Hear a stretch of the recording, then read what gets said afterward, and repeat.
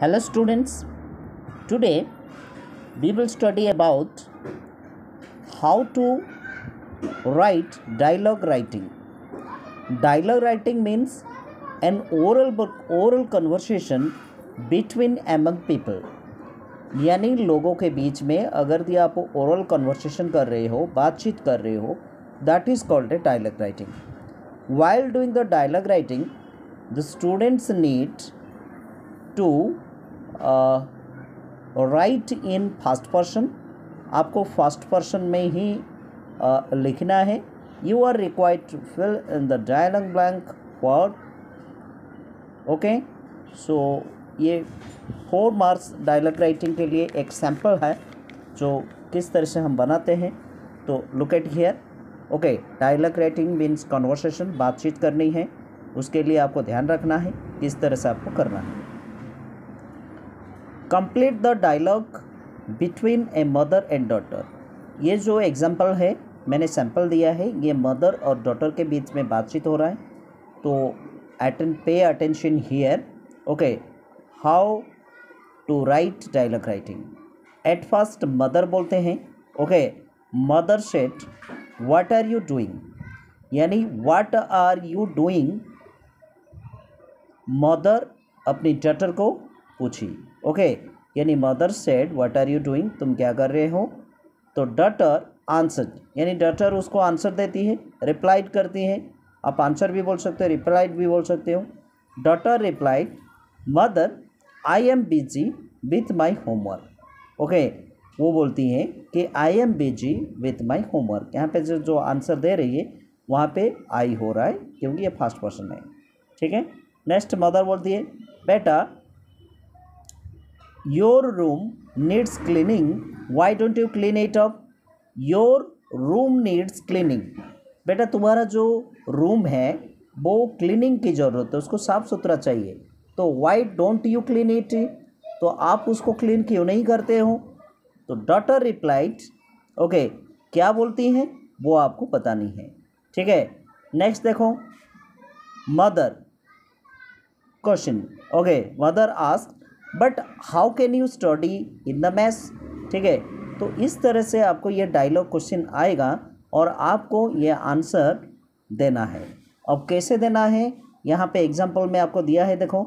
Mother what are you doing तो यहाँ पे डॉक्टर बोल रहे हैं mother I am busy with my homework okay मैं अपने होमवर्क करने में व्यस्त हूँ। तो मदर फिर क्वेश्चन आस्क्ड बोलते हैं, बेटा your room needs cleaning why don't you clean it up तुम्हारा रूम को साफ़ सुथरा की ज़रूरत है। तुम साफ़ क्यों नहीं कर रहे हो?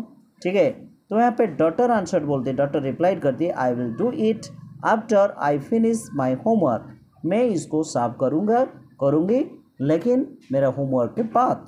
ठीक है next mother replied but how can you study in the maths okay तो next mother ask the daughter how can you study in the maths in this maths ठीक है तो daughter replied it is all right mom okay वो बोलेगी it is all right ma'am ठीक है।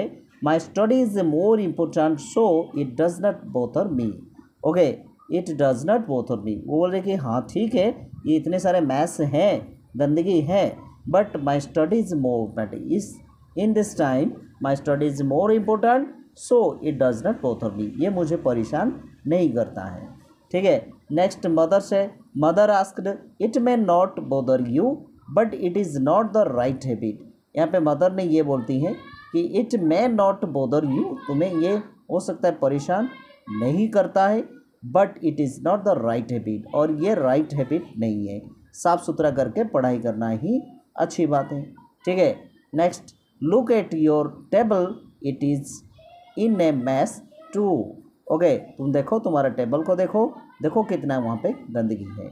Daughter replied no I will clean up my table also later उसने बोला हाँ हाँ ठीक है, नहीं है, मैं इसको पूरी तरह से बाद में सर्व कर दूँगा सर्व कर दूँगी, ठीक है mother with such a untidy study table how are you going to write okay with such untidy study इस तरह से जो गंदगी है टेबल है तो उसमें आप किस तरह से लिखने जा रहे हो?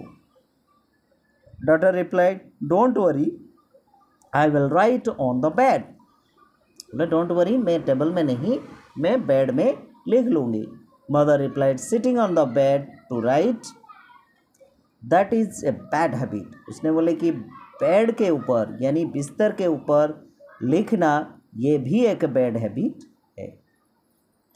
तो इस तरह से आपको डायलॉग राइटिंग बनानी है okay if you make the dialogue writing definitely you will speak English soon बहुत जल्दी आप इंग्लिश uh, बोल लोगे इसलिए घर पे आप ट्राई करो ये जो इंग्लिश में डायलॉग राइटिंग बनाने के लिए। इसके लिए बहुत सारे वर्ड्स की ज़रूरत है जो वर्ड्स आप फाइंड करो और how to make it dialogue writing next ये कुछ क्वेश्चन है जो मैं आपको दे रहा हूँ। Okay I am giving some question to solve at your home ठीक है? देखो टीचर ओपन ईयर ये complete the following dialogue between the teacher and student एक टीचर और स्टूडेंट के बीच में डायलॉग है। Teacher open your class work book ठीक है? तुम्हारा जो क्लास वर्क बुक है, उसको खोलो।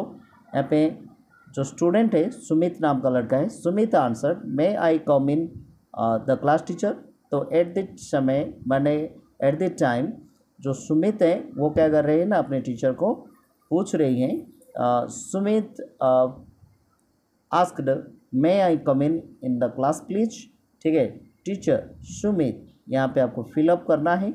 क्या फिलअप करना है, वो अपने हिसाब से सोच के लिखना है।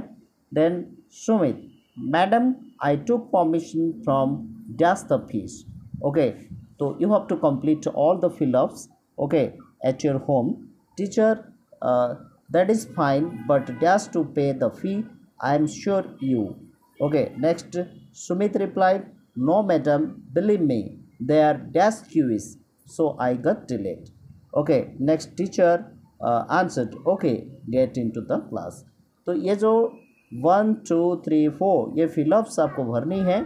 सुइटेबल वर्ड्स लगाकर। Okay at your home you will do it okay next students uh, i hope you would understand how to write dialogue writing.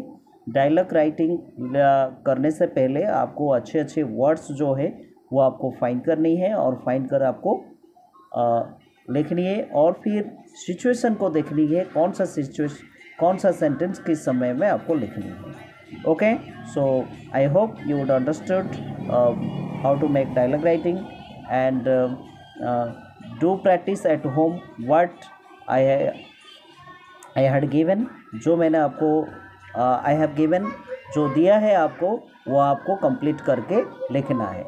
Okay so do practice at home. Next period we will do we will study about something new. Okay.